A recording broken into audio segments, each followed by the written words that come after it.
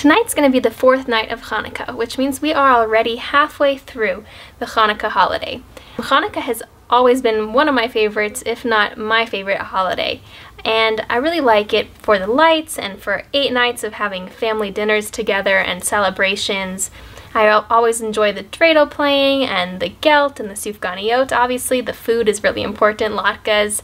Um, and I enjoy the story of Hanukkah and just the miracles that we see in the story and in our own lives and what brings us enjoyment and light. You know, the Jewish people are supposed to be a light unto the nations, so what is it that makes us happy, makes us special, gives us that special light or aura around us?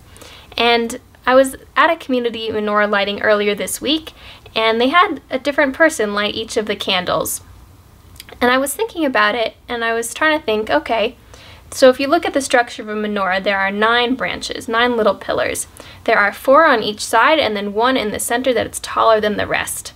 And if you look at it and you say, okay, what are sort of the eight things that bring me, or nine things that bring me the most enjoyment in life, or who are the eight or nine people who are most important and bring me, put the most light into my life, um, it's really a nice way to frame gratitude and appreciation for what we have this Hanukkah.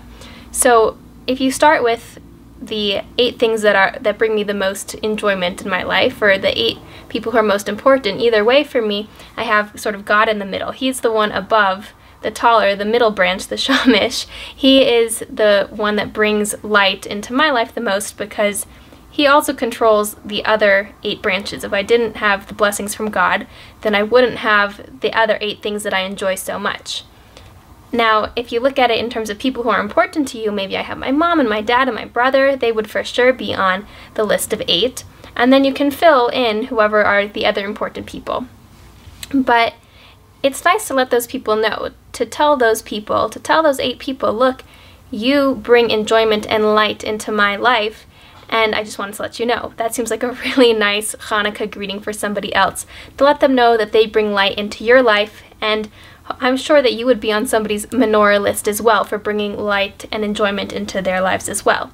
Or if you look at the eight things that bring you the most happiness and the most satisfaction in your life, it's really sort of a nice way to make like a Hanukkah gratitude list.